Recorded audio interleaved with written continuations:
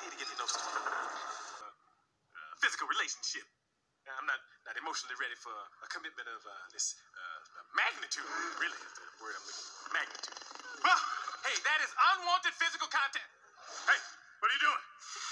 Okay, okay, okay. Let's, let's, just back up a little and take this one step at a time. I mean, we really should get to know each other first, you know, as, as friends or maybe even as pen pals. You know, oh, but I just love receiving cards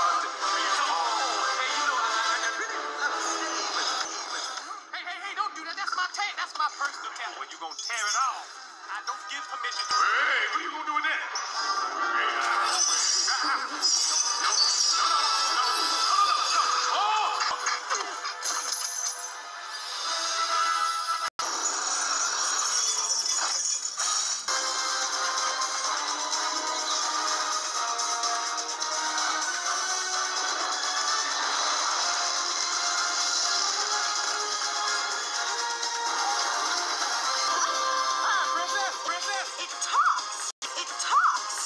get them to shut up, that's the trick.